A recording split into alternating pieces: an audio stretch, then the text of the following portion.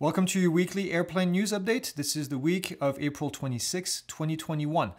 Four topics this week, pretty cool ones. The first one is the Bye Aerospace uh, E-Flyer 800. This is an electric aircraft that uh, will carry a whole bunch of people for quite a bit of a distance and a really cool concept. Uh, we'll talk about an unlicensed pilot that is going to jail after, well, after doing some stupid stuff. This is a Don't Be That Guy segment. We'll talk about Airbus that is looking into doing uh, laser terminals. I'll talk about what that means in a second. Really interesting concept. And lastly, we have the Leonardo AW609 VTOL aircraft. We'll talk about the VTOL concept, what it does, what it looks like, who's going to be using it. Um, but yeah, let's get to it. First thing this week, Bye Aerospace E-Flyer 800. This is a, an electric aircraft that is designed to carry eight people, and you see the pictures right here. It is a beautiful, beautiful aircraft. The first time I looked at the pictures, I was like, whoa, this is this is really amazing design. Uh, 320 knots of cruise speed, 35,000 foot ceiling, 500 nautical miles of range, and that includes a 45 minute IFR reserve, uh, flying at 280 knots.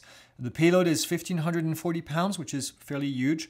And um, really interesting design. I've talked about electric aircraft. Uh, I'm a believer in, in electric aircraft for the future. Uh, this has a quad redundant battery on the aircraft. So in case something happens, obviously uh, you have a backup for that a parachute on the airframe. You get a bunch of options. You can get solar charging, which would be uh, doing uh, a trickle a trickle charging to the, the battery during flight.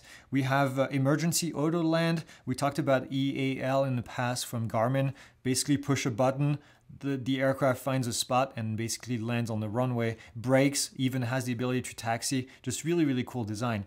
Um, and then electric motors for taxi. Now, let me talk about this because uh, we were talking about this in the office.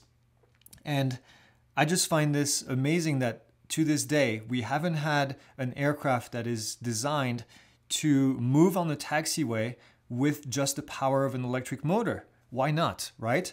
Uh, why not have a Cessna 172? For those of you that fly, uh, I know a lot of you fly, can you imagine not having to burn your fuel in order to get to the end of the taxiway and get ready to fly and you haven't even turned on the engine just yet and then you get to do your run up, do your warm up and everything right there at the end of the runway after everybody's clear or right before you get to the runway. So anyway, I, I just think this is amazing that uh, they have the ability, this is an option. You can have an electric motor just to taxi the aircraft to the end of the runway and then go ahead and turn on the actual electric motors for the props take off, and then you're good to go. So really cool.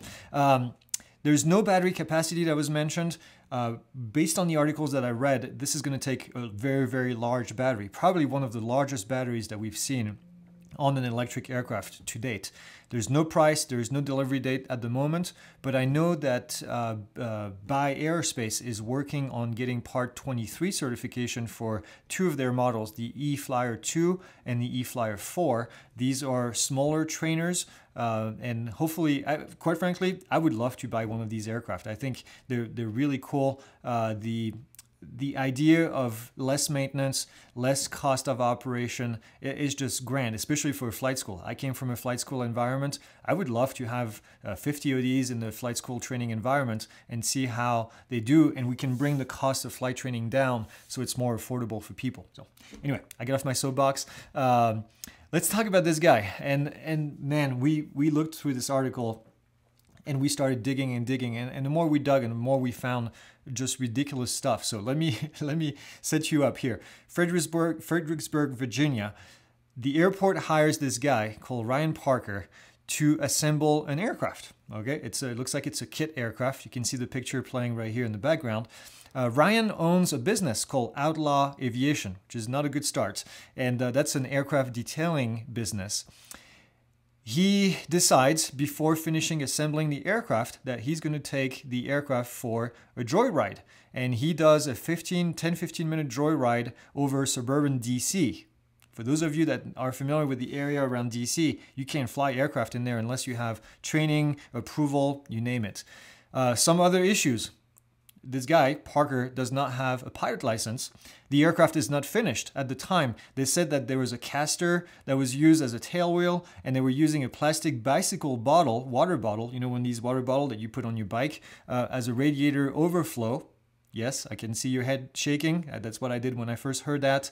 Um, he was estimated to be flying around 50 feet AGL and in poor visibility over Washington, D.C. suburbs.